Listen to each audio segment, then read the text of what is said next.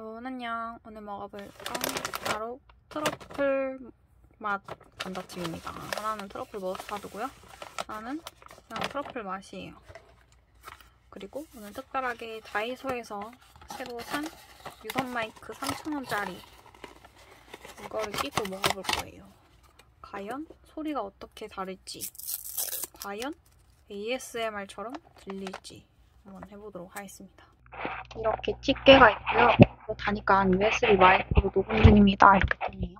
근데 약간 문제점이 뭐냐면 처음에 이 집게가 좀 잘 안 열립니다. 조심하시고 잘 열려보면 되는 거예요.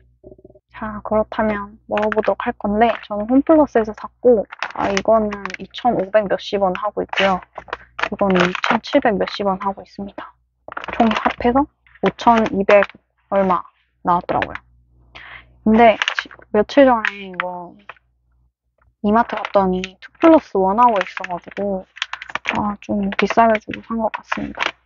아, 시끄러울 수도 있으니까 한번 조용히 뜯어보겠습니다.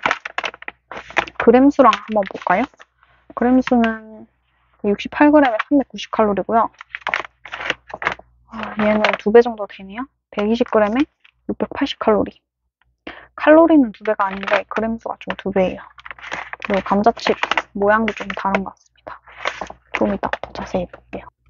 짠. 모양은 이렇게 생겼어요. 아, 냄새는 좀 이상한 냄새 납니다. 이게 트러플 머스타드 맛이어가지고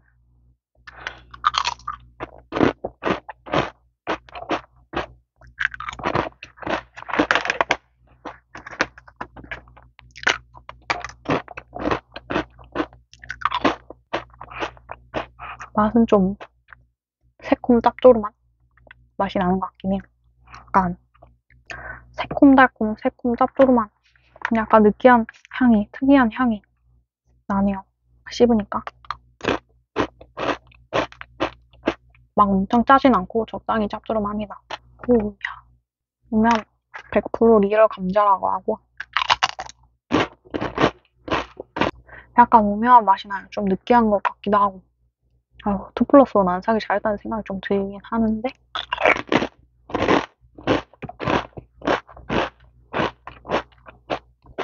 그럼 이제 생생칩 트러플만 먹어보도록 할게요. 얘는 이렇게 깔끔하게 생겼고요. 냄새는 무슨 치킨 맛, 치킨 냄새 같은데요. 더 바삭바삭한 것 같습니다. 감자가.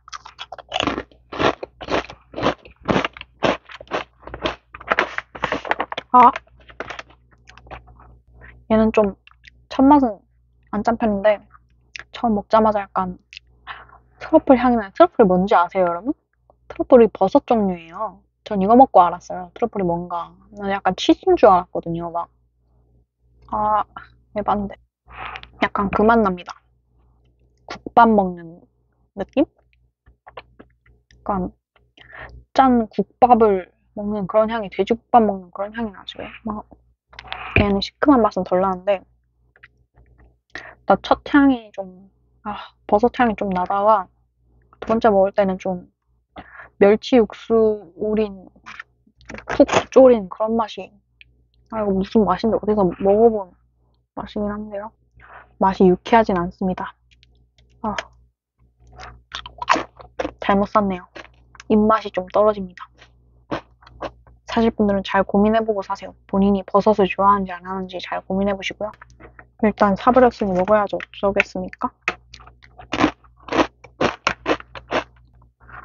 좀 맥주 안주로 좋을 것 같은 그런 느낌이 있어요.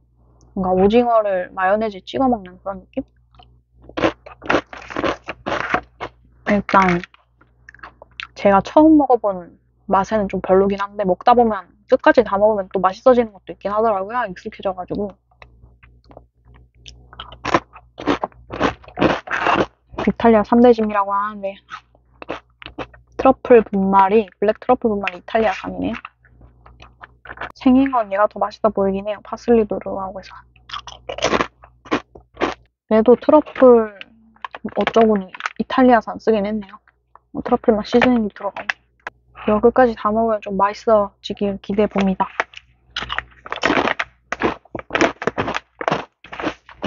건조 송로버섯 0.003% 함유. 고급스러운 맛?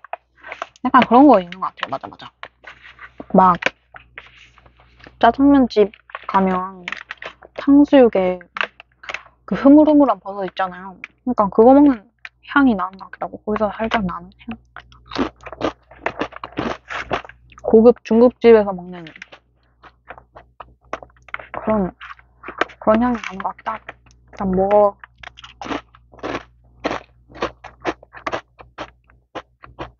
다 먹긴 할 겁니다. 물이랑 많이 먹어야 될 것 같아요. 아, 너무 짠 것 같은데, 여기는. 그럼 여기까지. 안녕.